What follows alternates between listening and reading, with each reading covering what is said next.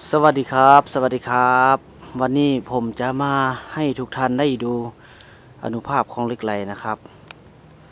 นี่คือเหล็กไหลที่หลายคนต้องการหานะครับ เพราะว่าเหล็กไหลที่ว่าหลายคนอยากขอบครอง วันนี้ผมจะพาทุกท่านมาทดลองกับต้นกล้วยนะครับ ว่ามันจะแทงยอดออกมาหรือยังครับ เพราะว่าปกติโบราณบอกว่า 15 นาทีนี่ ถือว่าต้นกล้วยนะจะแทงยอดนะถ้าเราตัด แต่ว่าเราจะมาทดลองกับเล็กไหลอ่าตัวนี้นะครับว่าจะมีอุณหภาพาจะสามารถเฮ็ดให้ต้นกล้วยแทงยอดออกมาได้หรือยังหรือไม่ในภายใน 15 นาทีนะครับ เอาไปรุ่นด้วยกันนะครับ ตอนนี้ผมจะมาทดลองกับต้นกล้วยนะ นี่คือต้นกล้วยที่ยังเป็นๆนะครับ ผมจะไม่เอาต้นที่ว่าเป็นที่ว่าเป็นเป็นผลออกมานะครับ ผมจะเอาต้นที่ว่าปกตินะครับผมจะเอาต้นนี้นะครับรอรุ่นด้วยกันครับ เพราะว่าวิดีโอนี้ผมจะไม่ได้ตัดต่อนะ ผมจะใส่วิดีโอนี้ถ่ายไปเรื่อยๆนะครับ จนกว่าจะเห็นผลนะ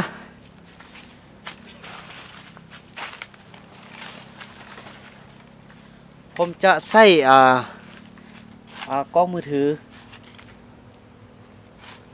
กล้องมือถืออีกอีกอีกตัวนะครับที่ว่าบันทึกด้วยกัน ผมจะใส่สมุไรนะครับ ตัดต้นกล้วย ตอนนี้ผมจะอ่าใส่มือถือด้วย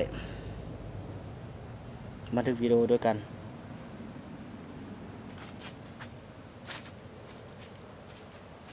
ดี จะหันว่า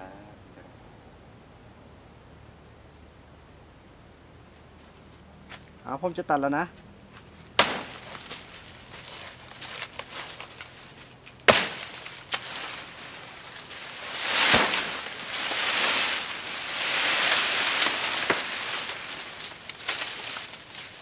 ตอนนี้ผมได้ตัดแล้วนะ ตัดเป็นกล้วยนะ ตัดเป็นทีเรียบร้อยแล้ว ผมจะอัญเชิญเล็กไหลขึ้นมาสถิตอยู่ที่หน่อกล้วยนะครับ ว่ามันจะแทงยอดออกมาหรือยังครับผมจะใส่สองกล้องนะครับ คือกล้องบันทึกวิดีโอของผม แล้วก็กล้องมือถือนะครับ เพราะว่าผมจะใส่วิดีโอที่ว่าถ่ายต่อเนื่องนะครับ จะไม่ได้ตัดต่อนะ ผมจะไม่ได้ตัดต่อ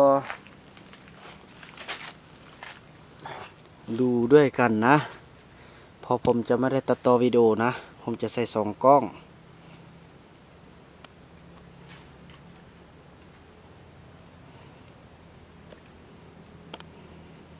โอเค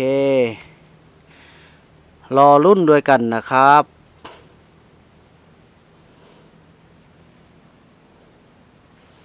เพราะว่าวิดีโอตัวนี้จะไม่ได้ตัดต่อนะ เพราะว่าเราจะทำการาถ่ายสดๆในภายใน 15 นาทีนะครับ ว่ามันจะมีผลปรากฏออกมายังไงนะครับ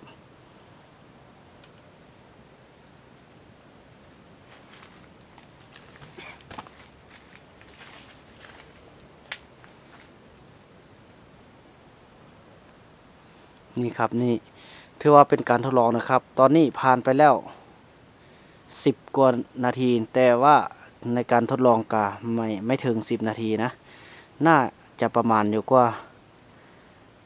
เจ็ดแปดนาทีนะครับ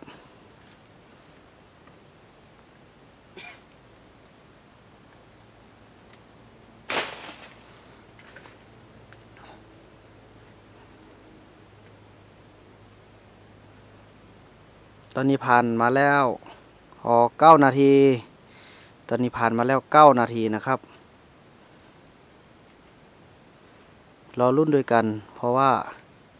อนุภาพของเหล็กไหลจะทำให้หนอกล้วยแทงยอดขึ้นมา หรือไม่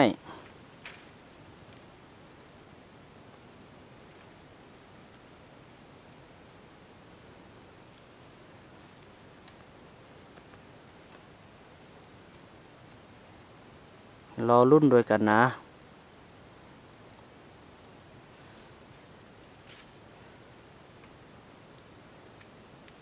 เล็กไหลเป็นของที่หายากนะ ทุกคนอยากได้มาครอบครอง ถ้าใครไม่มีบุญบารมีสูง คนนั้นก็จะไม่ได้ครอบครองนะ แต่วันนี้ผมได้มีโอกาสมารีวิวให้ทุกท่านได้ดู เกี่ยวกับ อนุภาพของเหล็กไหล ว่ามันจะทำให้นอกกล้วยแทงยอดออกมาหรือไม่แทงยอดออกมา ในเวลา 15 นาที ทุกคนต้องรอรุ่นด้วยกันนะ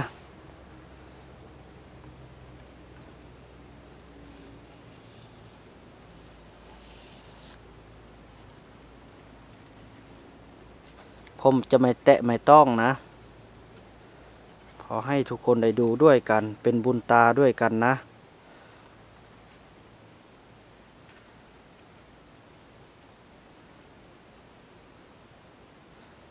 ตอนนี้ผ่านไปแล้วแปดนาทีนะครับแปดกว่านาทีนะครับรุ่นด้วยกันว่ามันจะแทงยอดออกมาหรือยังครับ เพราะว่าผมเลือกเอาต้นทียังสมบูรณ์ ต้นทียัง สวยๆนะ ไม่ได้มีผลออกนะท้ายวิดีโอผมจะให้ดูต้นที่ว่าผมตัดออกมานะ แต่โคนจนถึงยอดนะ ให้ทุกคนได้ดูว่าต้นนี้ไม่ได้ออกผลไม่ได้มีผล บางคลิปบางท่านจะใส่ต้นที่มีผลเป็นการทดลอง ก็แสดงว่ามันจะไม่ออก มันจะไม่แทงยอดออกมา เพราะว่ามันไม่มียอดแล้ว แต่ว่าต้นนี้ผมใส่ต้นต้นที่ว่าเดิมๆนะ ต้นที่ไม่ได้ยังไม่มีผลออกมานะ ต้นต้นที่ว่ายังแข็งแรง ต้นที่ยังสมบูรณ์นะ ไม่แก่แล้วก็ไม่อ่อนเกินไปนะ ต้นที่ว่าสมบูรณ์แบบภายใน 15 นาที ปกติมันจะอออกมานะอตอนนี้เรารุ่นๆไปด้วยกันนะ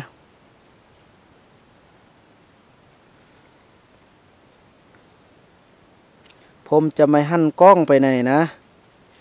ผมจะไม่หันกล้องไปไหนจะให้ทุกคนได้ดูด้วยกัน ว่าอนุภาพของ เล็กไหลเป็นยังไง ว่าของจริงหรืออของปลอม เพราะว่าทุกคนจะได้ดูด้วยกัน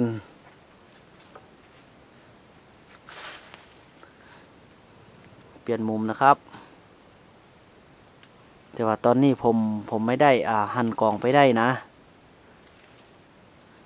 มือผมจะสั้นๆไปนิดนึงเนาะพอมันจะไม่ค่อยแจ้งๆ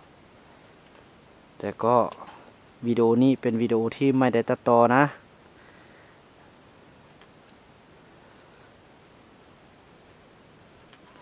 รอรุ่นไปด้วยกันเรื่อยๆนะครับ จนอ่าวิดีโอนี้ผมตั้งอยู่ประมาณ 10 กว่านาทีนะ น่าจะเกือบ 20 นาทีนะครับ ตอนนี้อ่าผ่านไป 10 กว่านาทีแล้วนะครับ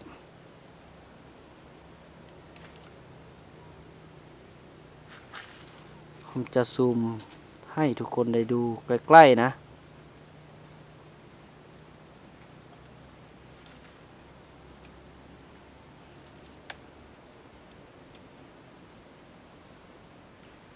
โอเค ให้ทุกคนได้ดูใกล้ ๆ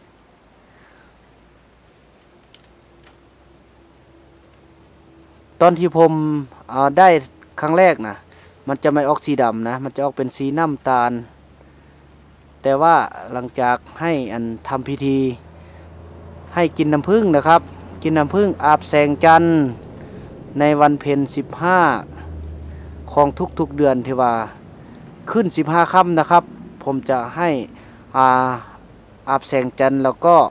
กินน้ำผึ้งนะครับ แล้วก็กลับกลายมาเป็นสีดำอย่างนี้นะครับ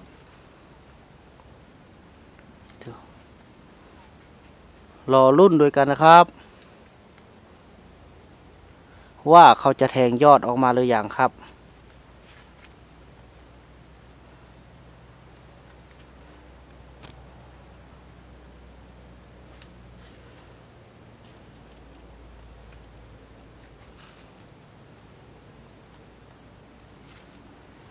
ตอนนี้ผมไปหั่นกล้องไปไหนนะ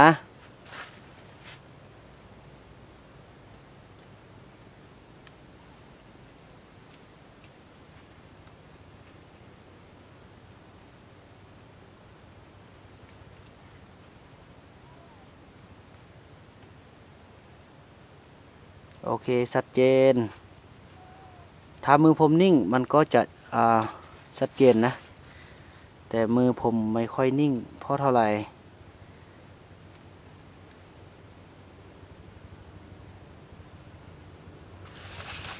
โอเคเนาะ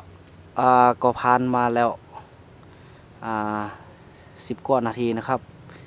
ใกล้จะเข้าอ่ายี่สิบนาที ท่านี้เราก็รู้ผลแล้วนะครับว่า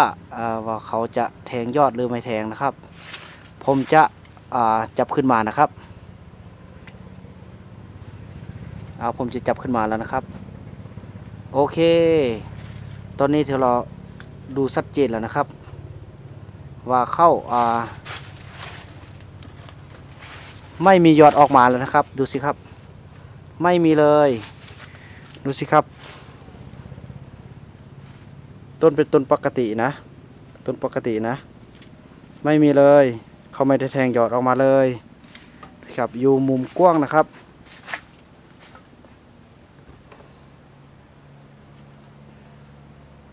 โอเค โอเค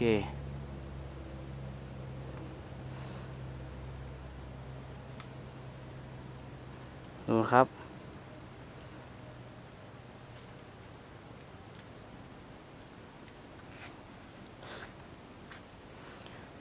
ถือว่าผ่านไปเนาะถือว่าไม่ไม่มีไม่แทงยอดออกมาเลย เราจะให้ดูต้นที่ที่เรา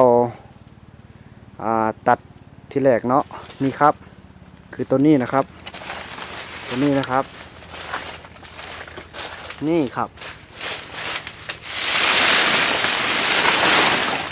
นี่ครับแสดงว่าไม่มียอดนะนี่ครับ นี่ไม่มีผลนะนี่จะเป็นต้นเดิมๆนะครับ นี่คือยังอ่อนๆอยู่นะครับโอเคครับ นี่ครับต้นที่ผมทำการทดลองนะครับ